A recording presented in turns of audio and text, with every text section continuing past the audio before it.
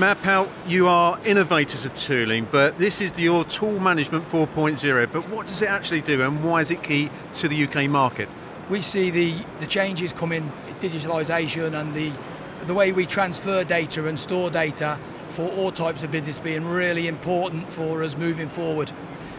We've got our traditional Unibase M, which we, we sell into the UK market, which totally controls our, our customers' needs from consumable issues, withdrawals for new and reground tools. We can use the QR codes to understand where they are in their organisation, also where they are for a resurfacing, and it allows us to make sure that logistically we're in total control of their spend, their cost per piece, and their overall expenditure. But the new part of this system is the Unibase C, which is a carousel operated system where we can actually store tool assemblies.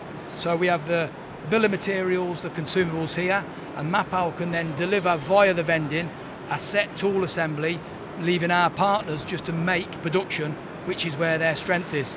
Obviously for that, the setting of the assembly is already done by us. We can take total control, reducing their headcount and leaving them to be the experts at what they can do, which is manufacturing, and we can do the logistics and everything behind the sharp edge.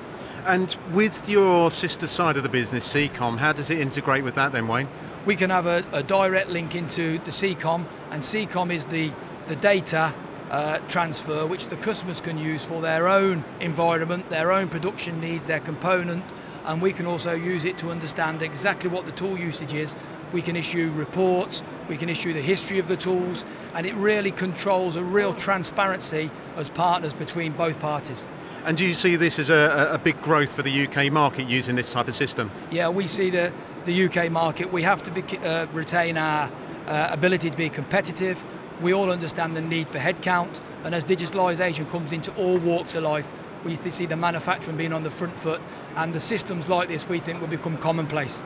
And when it's tried and tested in Europe, you bring it into the UK, job done, yeah? Hopefully, hopefully. Thanks, Wayne. Thank you.